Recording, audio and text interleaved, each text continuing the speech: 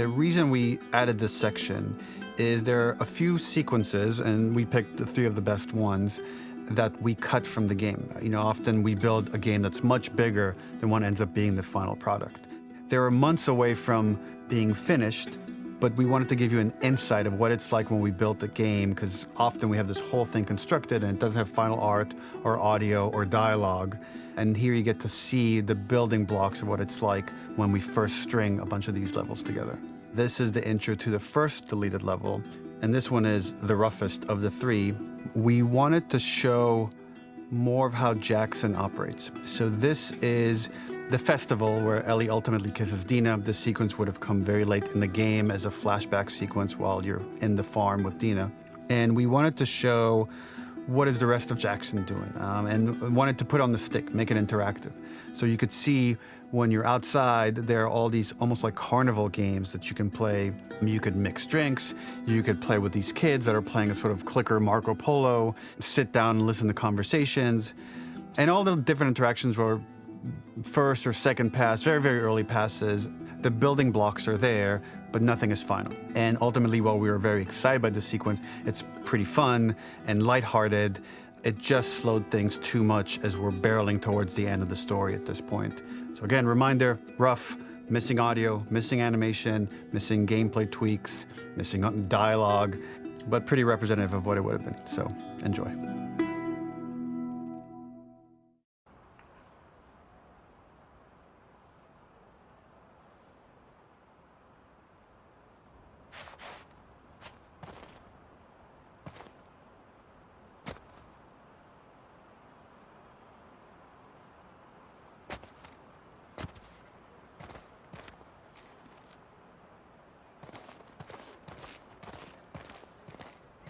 Originally, this level was going to transition us to farm. We would go all the way through to the dance where Ellie and Dina share their first kiss. Then we would play through farm, and when Ellie plays the guitar at night, she would remember the Seth incident. So, the opening for this was a little tricky. We needed it to match at least a little what you might expect emotionally coming from prior beats, because we were already purposefully disorienting you in time and space. Remember, you just came from this huge fight. To jump straight into it would have been a little too jarring. After some back and forth, we rooted it in Ellie's nerves, calling back to her hands shaking in the theater. But this time, for a much more innocuous reason we'll find out later.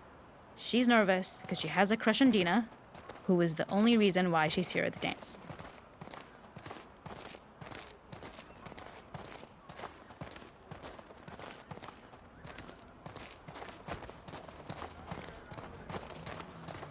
Something we really wanted to do was highlight the way their lives had turned upside down since she went down this path.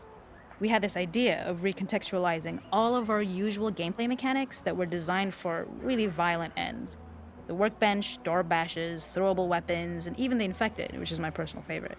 Peppered throughout the level are moments of levity or shared history, all the while seeing how happy and mundane they all were before her huge revenge odyssey.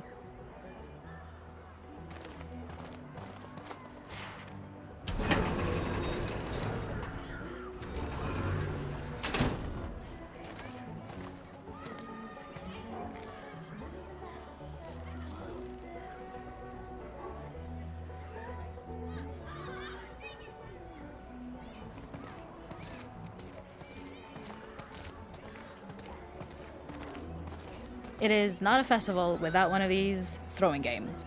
This one, of course, uses our throwable system where you're often chucking explosive things or stunning things, but for a more wholesome purpose, although some people take this game really seriously. A fun aspect of this is if you did well, you could win a toy here. Ellie would place it in her pocket. If you had done this, you'd find the toy with JJ, the baby, later back at the farm. When we cut this, the toy made it through anyway because it was so cute.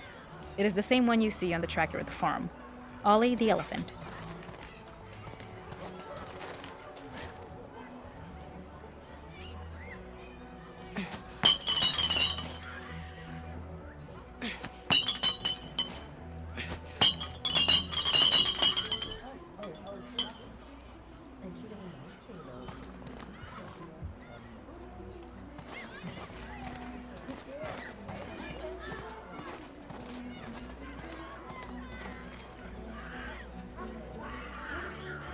This is one of my favorite sections because I think that it achieves both the slice of life aspect of Jackson while also being a stark reminder of how dark the world that they live in really, really is.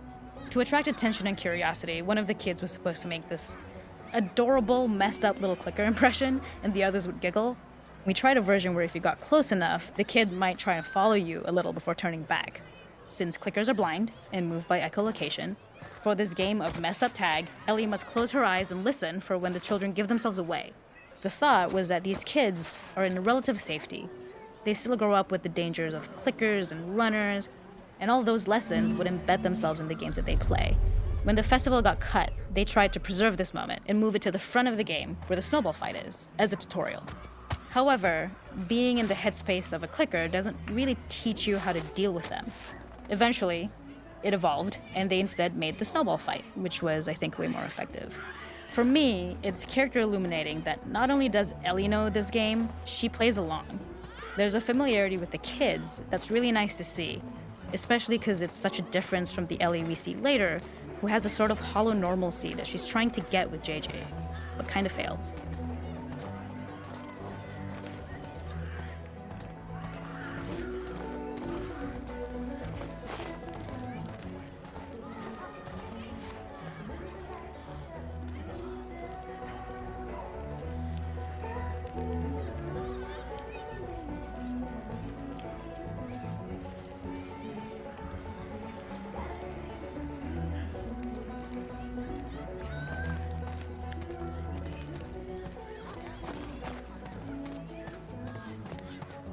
There's a hidden spot at the back that was just a bit of fun.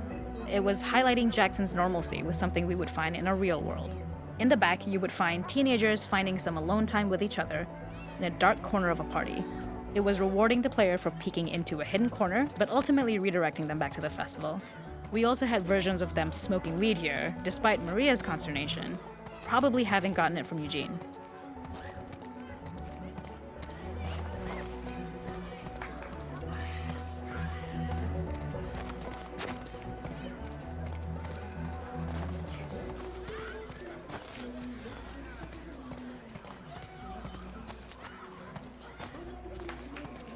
Makeup artist is pretty simple. It's one of those little in game scenes we peppered in to make it feel like Ellie had roots in the town. Halley, our writer, mentioned that in her mind, an ex girlfriend of Ellie's tattooed her arm to cover up her scar. So we figured this might be the only time you get to see that. We wanted to hint at it and allude to it and make it feel like there had been so much more that had been happening and so much more that Ellie threw away.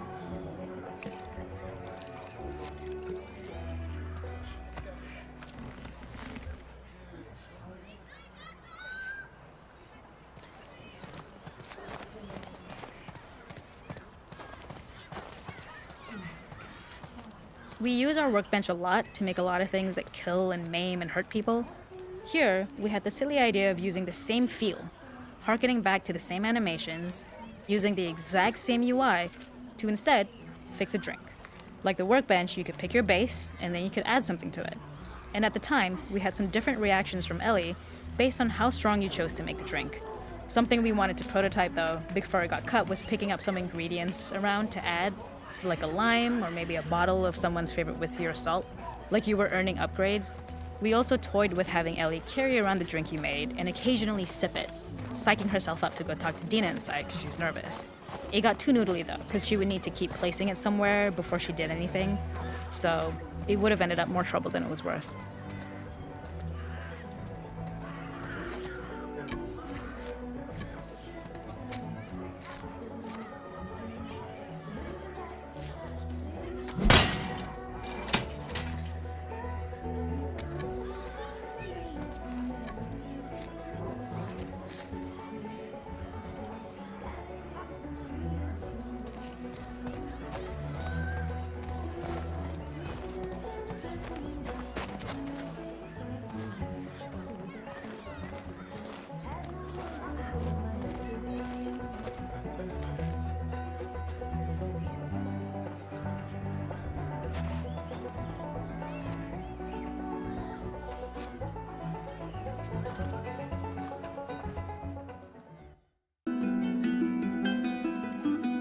In this second deleted level, which is an extended sequence of the sewers in Seattle, this comes on the heels of where Ellie goes into a building and she um, survives an attack by stalkers and gets thrown out of a window and gets swept away by the current. And then we cut this section that um, used to be there in the final game. Now you will get to play it. So this was a way to get a bit more interesting puzzles, um, interesting traversal, uh, figure out how Ellie can navigate the sewers with the fighting current.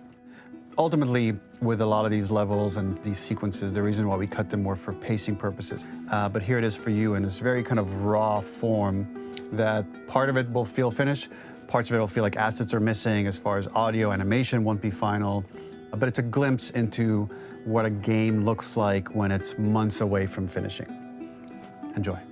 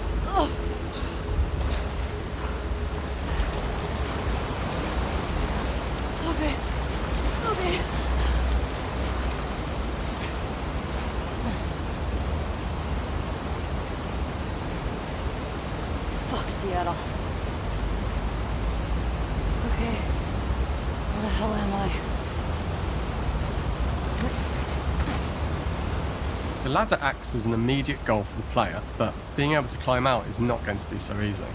To keep levels interesting and engaging, we alternate between positive and negative values the player experiences. Here, it's a positive to have found a ladder, but then a negative to discover it's not the solution but then another positive to identify the next short-term goal of the doorway. By alternating between these opposing values, we give players what they expect, but not how they expect it.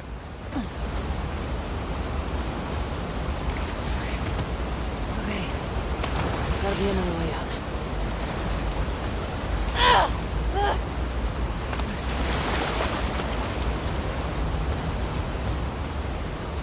This level, internally known as Find Nora, was quite long in duration as we had to make Ellie traverse a far distance to the opposite side of downtown Seattle. The sewer section was originally longer than what we released the game with, approximately 10 minutes more. This was one of the few areas of the game that used water flow as part of a traversal puzzle. Player has to go upstream to use the current to get to the platform to reach the other side. We mostly cut this mechanic game wide, however it remained in essence in the section swimming to the aquarium as Ellie, when you were avoiding the waves.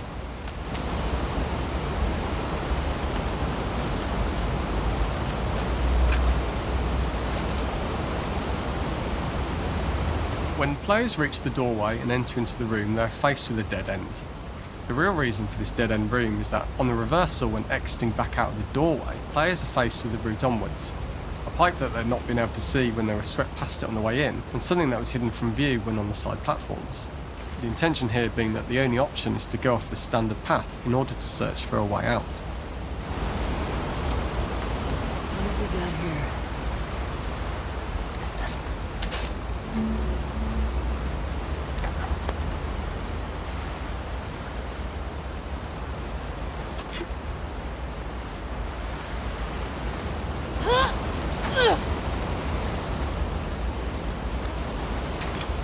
Get me the hell out of here. Throughout the rest of the level, we also use light to indicate to the player that they were heading in the right direction. At each turn, however, we block the direct route forward. Players would know that they just have to keep finding alternative paths, promoting those feelings of being desperate and trapped.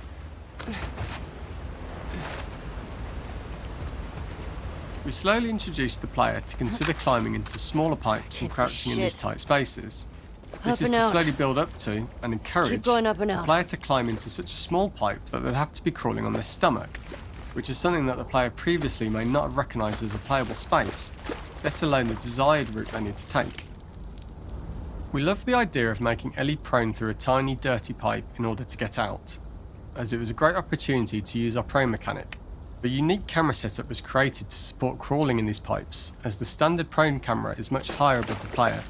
We also created custom collision in order for Ellie to manoeuvre in these tight spaces easily.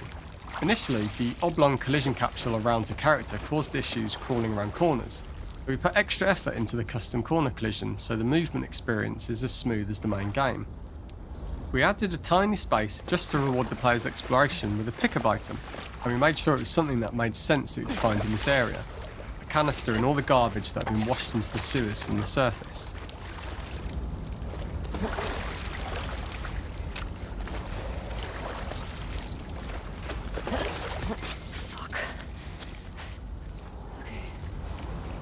Don't lose your shit, Ellie.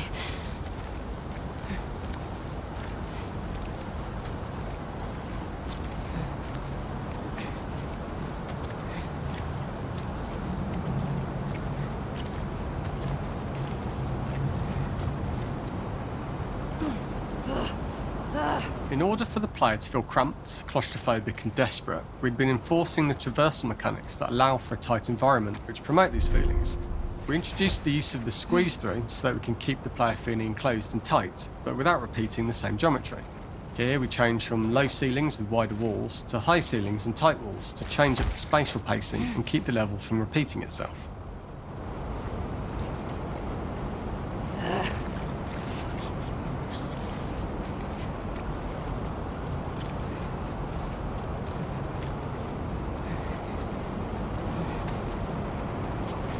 Shitty place to die.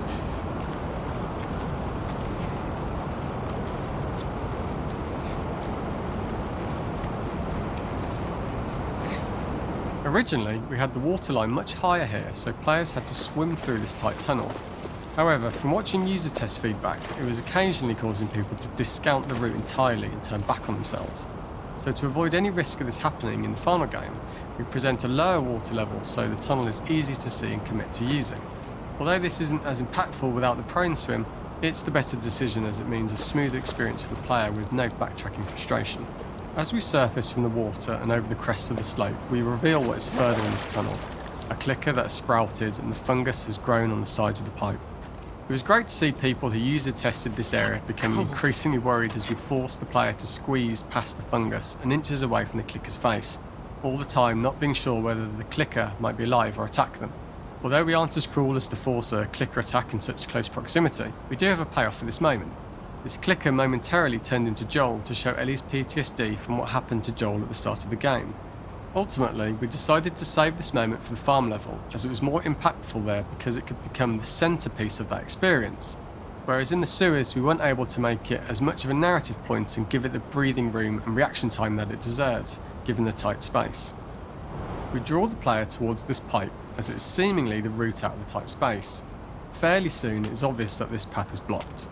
If the player goes all the way up to the bars that block the path, they are rewarded with a pickup, so this journey doesn't feel wasted. It is important to encourage the player to try to progress along this path so that they would subtly be thinking of progress in this direction. We hint to the player that there is a bigger, new space beyond this pipe by showing the player the waterfall. This helps players consider the other route when they don't know how far the tunnel is or whether they'd make it.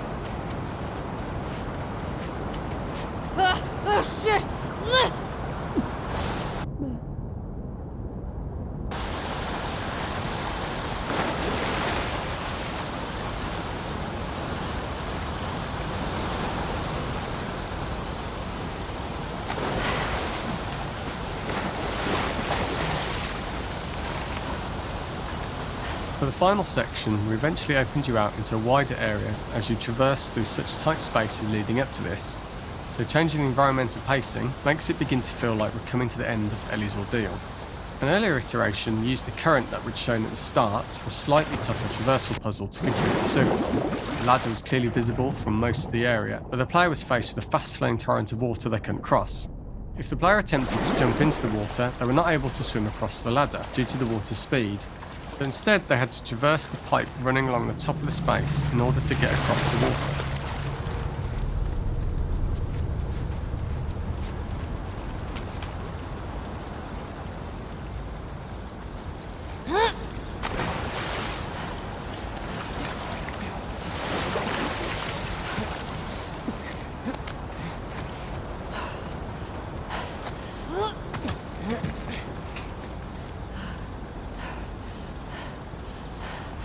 Using this pipe was retained in the iteration we shipped with, as it's the last of the extreme methods Ellie has to undergo in order to escape the sewers, and what she will go through in her pursuit of revenge.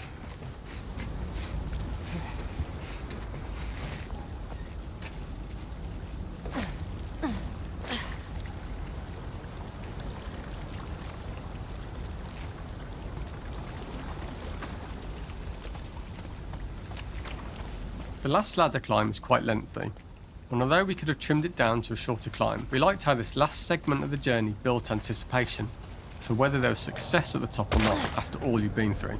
Ultimately, the ladder exits out into the subway station, which is how it connects in the final game. Ellie then has to find her way to the hospital from here, crossing paths with the scars for the first time.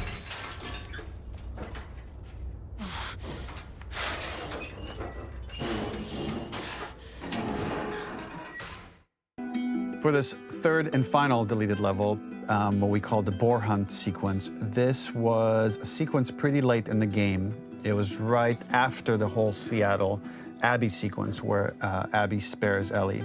And then we wanted to come back into Ellie's story, but keep it a bit mysterious of how much time has passed, where is Ellie now?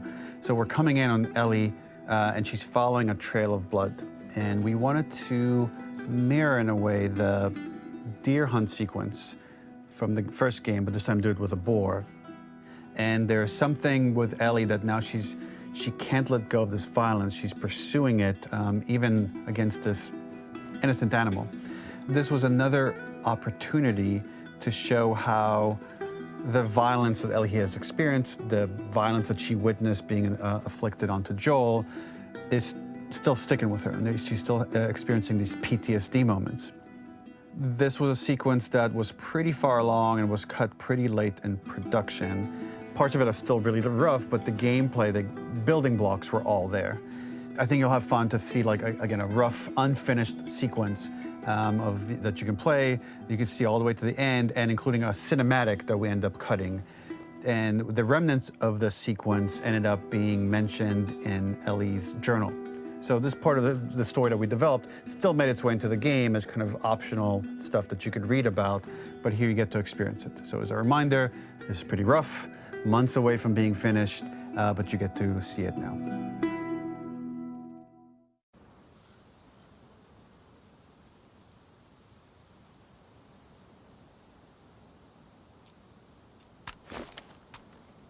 Where are you?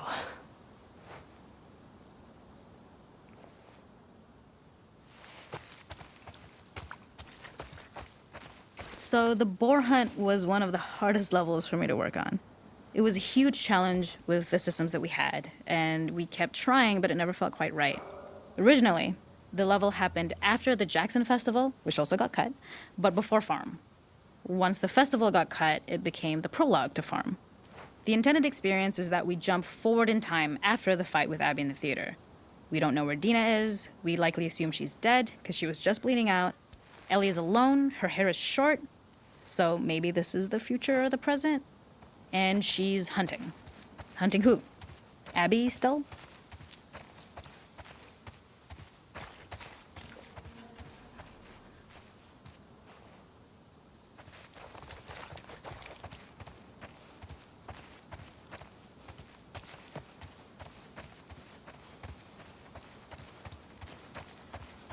In early iterations of the fight, it was more arena like. The player slowly whittles down the boar's health. Ellie gets more visceral and more vicious. We get a little worried about her. As the boar gets weaker, more panicked, more feral, and we start feeling sympathetic to the boar, was the hope. Uh, in all of these iterations, especially of these wider areas, it required custom AI and scripting to make sure it continued to feel organic as an animal, but we really needed it to do specific stuff. It needed to be able to close distances really, really quickly. It needed to charge to attack, but we wanted the feeling of hunting, so we needed to track it down from afar. And we also needed to discourage the player from attacking the boar when it's that close, or it would kind of turn into this melee kerfuffle. How do we do this in our world while keeping the boar believable? We must have gone through five or six iterations of the boar fight and all, and every single time it changed pretty drastically. We split it into clear phases where one was like all long range. We tried another where you're getting close and you get the jump on it quite literally. You're jumping off of a rock to attack it. Uh, and then finally, we tried a bunch where you almost sort of uh, go around a bunch of trailers and try and try and wrestle it. We uncovered after some time that taking down a boar over several phases felt very laborious and a little dramatic. It was comically long, it felt too boss like, uh, a little too gamey we decided to cut the first few phases, and we opted for a cold open after the boar had already been hurt off screen. So that allowed us to focus on feeling like we're closing in on prey and to introduce the boar when it was at its most dangerous. Already hurt, already feral, much too close for comfort. And so the thinking was it would bring us more into Ellie's mindset. Is this really hunting for food, or is she hunting for some other reason? The gas station was built to highlight the boar's destructiveness. Since it's cramped, the boar feels larger. We also feel trapped with it, because it's trapped with us. When it charges, it gets to us quickly, so we must be on our toes. This made it more aligned with Ellie's sort of hunting for trouble mindset. Listening became more important, as well as moving around slowly so it didn't hear you. Could you spot it before it saw or heard you? And could you get a shot off quickly enough so you could dodge out of the way? Or is the shot worth the cost after? It feels like a gamble. By the end of the fight, everything would likely be in shambles. The boar would burst through the back, and Ellie would follow it and finally enact revenge.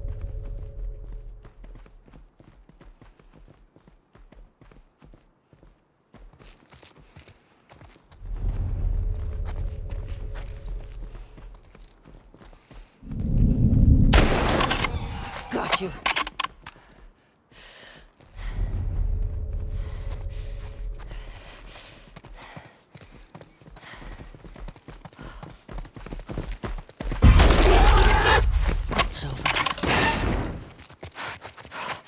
Nowhere to run.